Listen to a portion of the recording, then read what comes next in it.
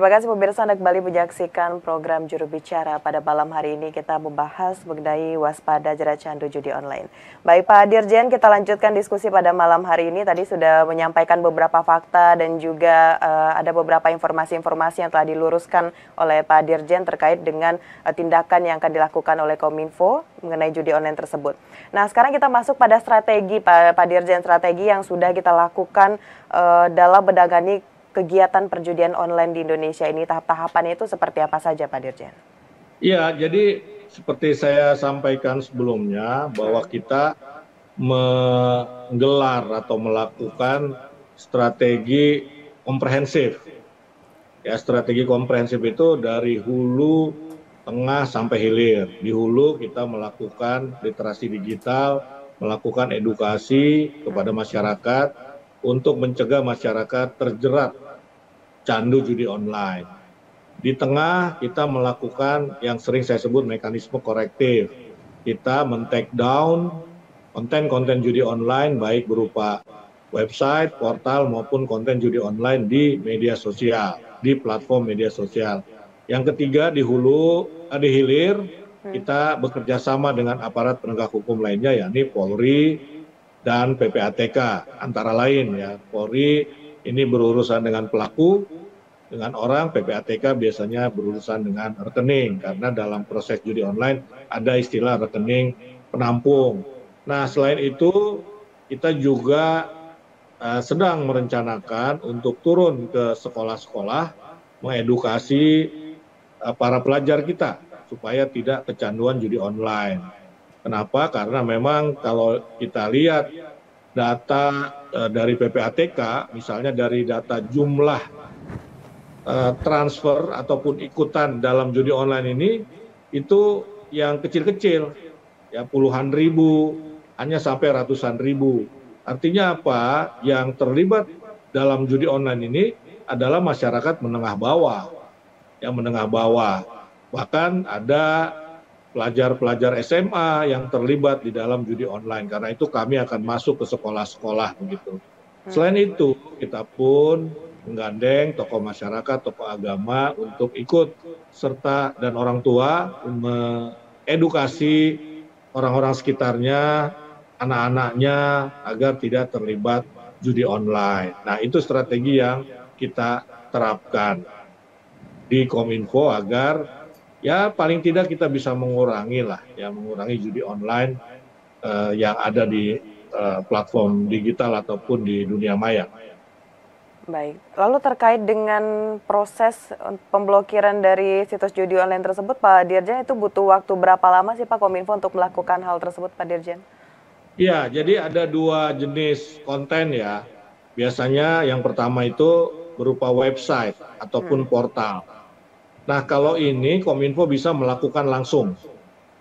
Ya, jadi cepat sekali nih. Begitu Kominfo menemukan ada website ataupun portal yang yang uh, berbau judi online, terindikasi judi online, kita bisa langsung memblokirnya ataupun menutupnya atau memutus aksesnya.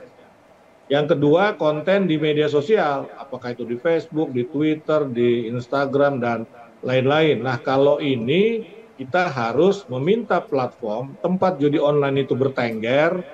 Ya kalau judi online itu adanya di Facebook ya kita minta hmm. Facebook. Kalau adanya di Google ya kita minta ke Google untuk men-take down. Dan mereka harus me-take down konten judi online itu dalam waktu satu kali 24 jam. Hmm. Ya jadi kecepatannya itu satu kali 24 jam itu maksimal.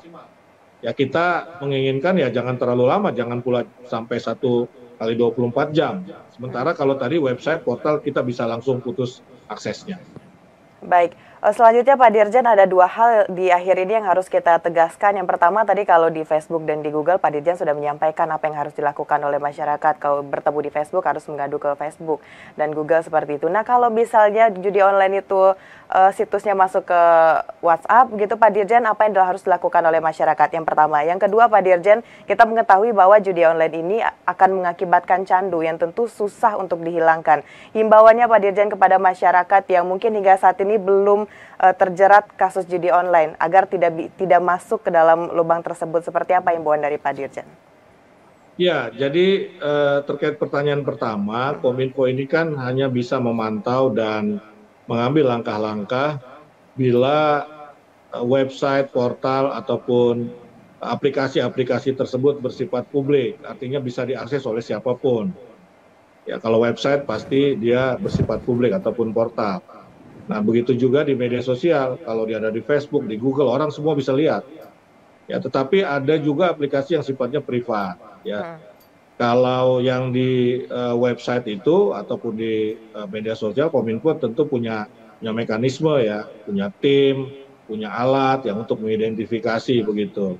Sementara ada aplikasi yang sifatnya privat, misalnya WhatsApp tadi itu, Telegram, WeChat misalnya, atau SMS, ya itu memang Kominfo tidak bisa menembusnya, tidak bisa menembusnya karena dia bersifat publik, bersifat privat, bersifat personal ataupun pribadi.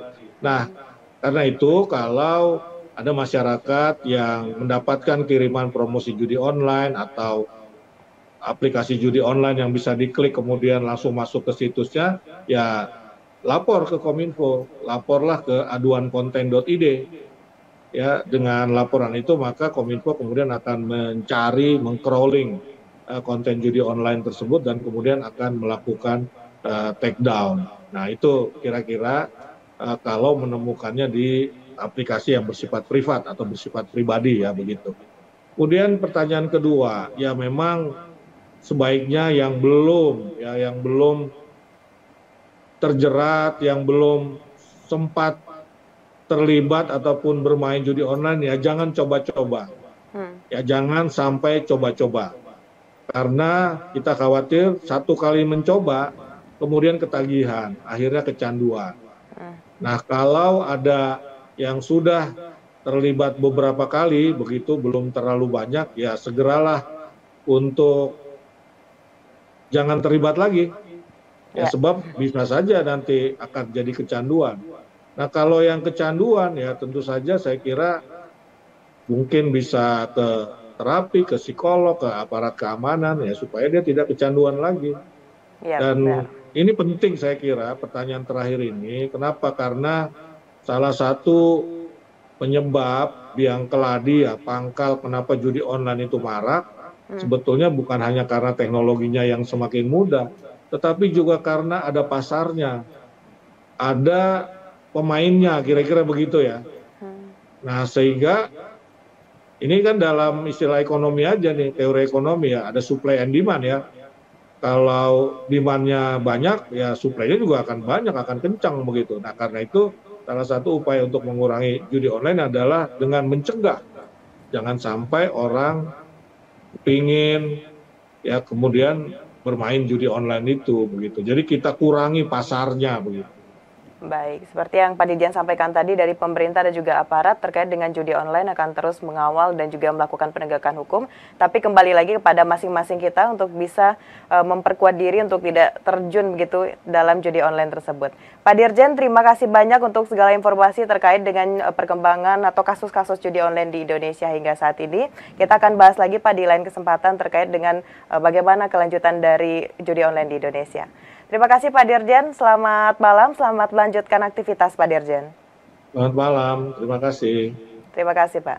Dan pemirsa itulah dialog kita dalam program Juru Bicara kali ini bersama dengan Dirjen IKP Kementerian Kominfo Republik Indonesia Bapak Usman Kansong. Terima kasih bagi Anda yang sudah menyaksikan. Saya Mona Azarin Sak pamit, selamat malam dan sampai jumpa.